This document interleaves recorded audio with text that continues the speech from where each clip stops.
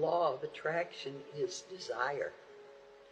The minute that you desire something, what you're doing, you're conjuring up energy.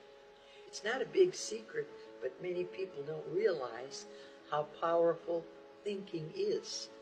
So desire is a criteria. So, what specific technique would you recommend for somebody to raise their energy? Because it sounds like it's all related to how much energy a person can send out.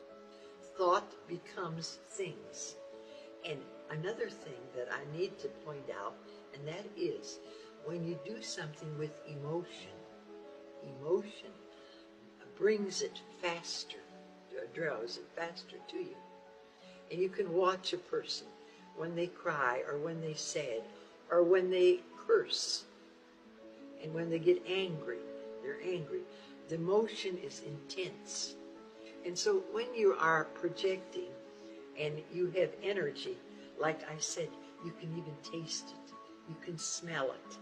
And that's energy going into a car with the new smell. That's a perfect example of using this more, more energy because now you're experiencing it. If you say, I can't visualize, I teach them how to visualize. And uh, that is just